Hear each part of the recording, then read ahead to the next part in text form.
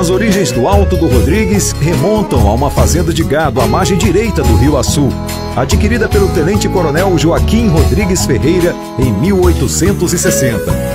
Joaquim, que era filho do português Manuel Rodrigues Ferreira e da brasileira Isabel Ferreira, nasceu na Fazenda Boa Vista em 26 de outubro de 1827 e desbravou as terras até então somente habitadas por índios, cuja localização numa parte elevada do terreno conferiu-lhe a designação do nome Alto do Rodrigues.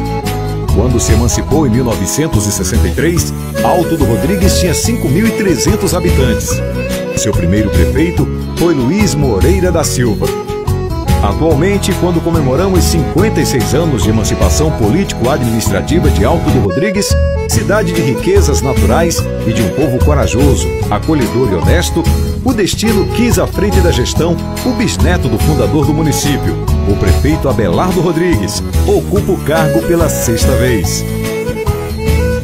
Parabéns, Alto do Rodrigues, por essa data tão especial.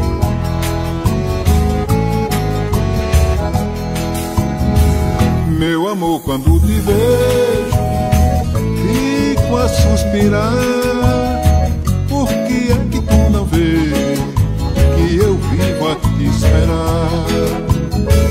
Meu amor, quando te vejo, fico a suspirar. Por que é que tu não vês que eu vivo a te esperar? Passarinho na gaiola vive sempre a cantar.